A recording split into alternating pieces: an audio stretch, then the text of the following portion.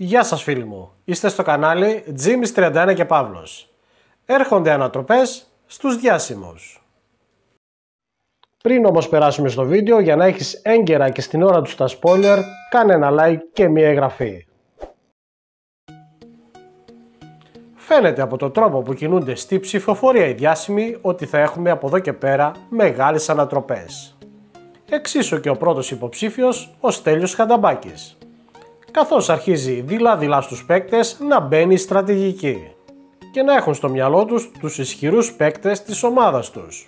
Ισχυρούς όχι όμως αγωνιστικά, αλλά σε σχέση με τη δυναμική που έχουν στο τηλεοπτικό κοινό. Και από τους εναπομείνοντες παίκτες στη κόκκινη ομάδα, αυτοί είναι κυρίως ο Κωνσταντίνος Βασάλος, ο Σάκης Κατσούλης, η Μαριαλένα Ρουμελιώτη και ο Στέλιος Χανταμπάκης.